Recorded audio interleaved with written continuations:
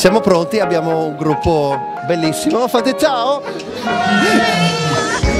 Prontissimi, sì. Certo che sì. Prontissimo, grazie. Sì, prontissimi. Sì. Quattro pass tra le colline del Prosecco.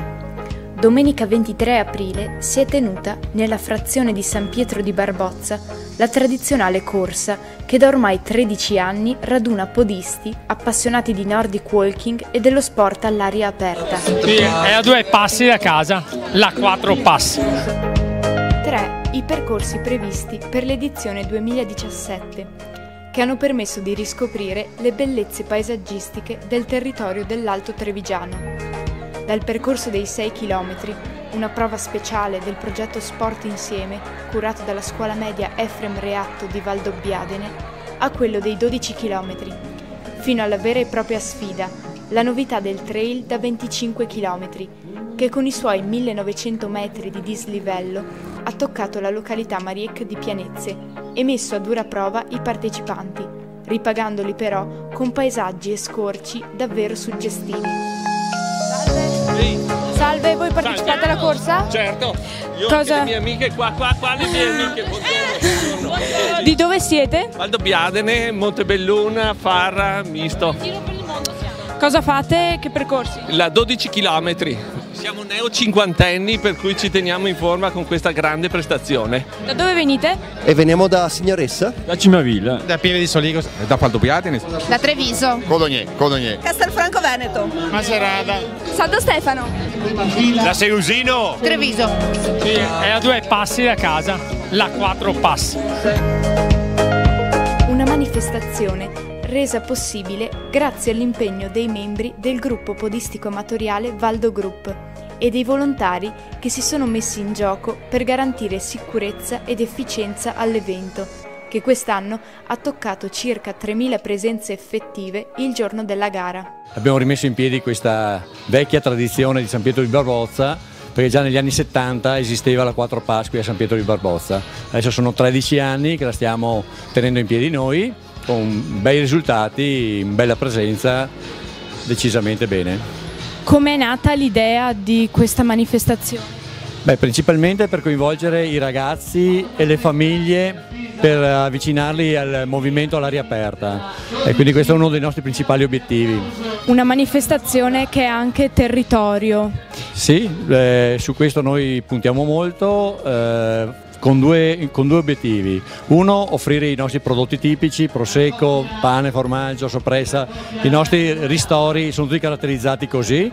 Due, eh, non sporcando il territorio. Non mettiamo con la vernice a terra, non sporchiamo, non facciamo frecce, solo eh, frecce appiccicate e cartelli e fre- fettucce che poi rimuoviamo e ripuliamo tutto. Quando è questa sera è tutto a posto. E un ringraziamento va anche agli sponsor, numerosi sponsor che hanno partecipato a questa manifestazione. Sì, sicuramente, ovviamente senza gli sponsor non si potrebbe fare nulla.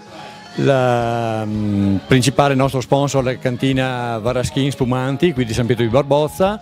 Da quest'anno anche una buona collaborazione con la Campa- Fratelli Campagnolo CMP di Romano De Zellino e poi decine e decine di altri sponsor che anche con piccoli importi ma ci aiutano a tenere in piedi la manifestazione. Quest'anno c'era in più la novità della eh, gara lunga, eh, ogni anno abbiamo sempre messo una lunga del 18-20, quest'anno 25 km con un dislivello molto impegnativo, un trail impegnativo, arrivano fino a Mariec a quota 1504 con 1900 metri di dislivello e 25 km di sentieri, strade sterrate su e giù per la nostra montagna. Ci sono 110 volontari lungo il percorso, non è facile tenere in piedi manifestazioni di questo tipo e gestire migliaia di presenze qui a San Pietro che non ha molti spazi per la sosta e per la, la recettività automobilistica degli, degli avventori. La gara del trail è stata vinta dal giovane Nicola Zarpellon della società sportiva M Running Team con un tempo di 2 ore 39 minuti e 24 secondi.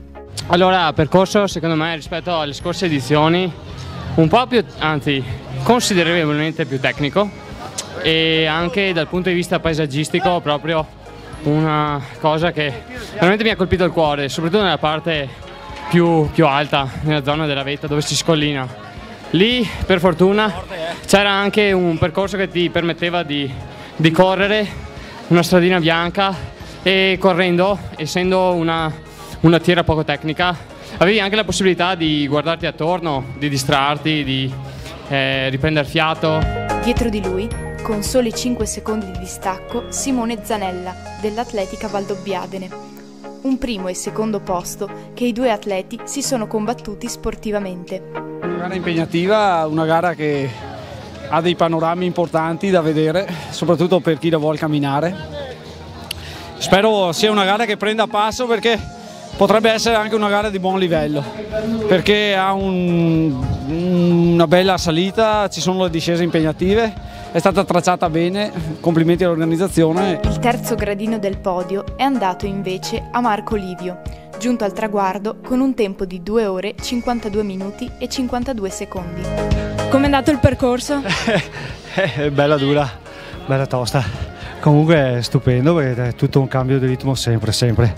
È stata, la, la, la giornata ha aiutato, il percorso va da ringraziarli veramente, da fargli complimenti per via del percorso. Non so se l'hanno ricavato loro o la natura sto percorso perché è veramente favoloso, stupendo.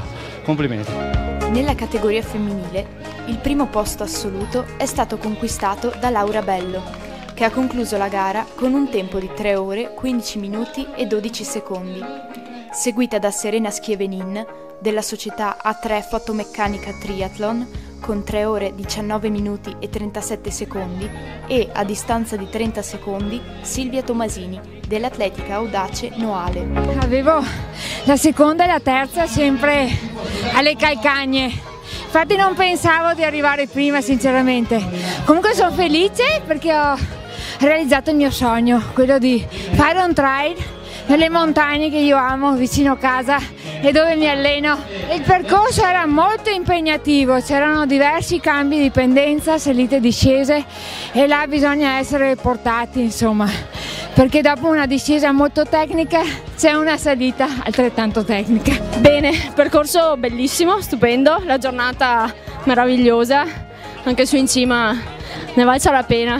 Sono contentissima, è stata molto dura però un percorso molto bello. Faccio i complimenti all'organizzazione. Nel percorso dei 12 km la medaglia d'oro è andata a Nicola Spada, che ha tagliato il traguardo con un tempo di 47 minuti e 13 secondi. Immediatamente seguito, a distanza di un solo secondo, da Giorgio Dell'Osta. Il terzo posto è invece andato a Ottello Dallarmi, con un tempo di 50 minuti e 10 secondi. Per la categoria femminile, invece, si sono aggiudicate il podio Ambra Vecchiato con il tempo di un'ora e 10 secondi, Milena Pasin con un'ora, 1 minuto e 51 secondi e Nicoletta Dal Pont con un'ora, 4 minuti e 15 secondi. La prova dei 6 km ha visto salire sul podio, per la categoria maschile, Sofia Angudadi, Riccardo Munari e Giovanni Cipriani e, per la categoria femminile, Anna Rento, Scita il Prosdocimo e Serena Bacchetto. Ma nella 4 Pass non sono state valorizzate solamente le prove individuali. Ad essere premiati sono stati anche i gruppi più numerosi, Primo fra tutti il Fitness Factory di Montebelluna, con 89 iscritti, seguito dalla scuola materna Brunoro, con 47 iscritti, e dal gruppo Alta Marca Nordic Walking, con 36 iscritti. Sì, è a due passi da casa, la 4 Pass. L'appuntamento, visto il successo di questa edizione, è per il 2018, con la manifestazione podistica 4 Pass a San Pietro di Barbozza. Sì, è a due passi da casa, la 4 passi.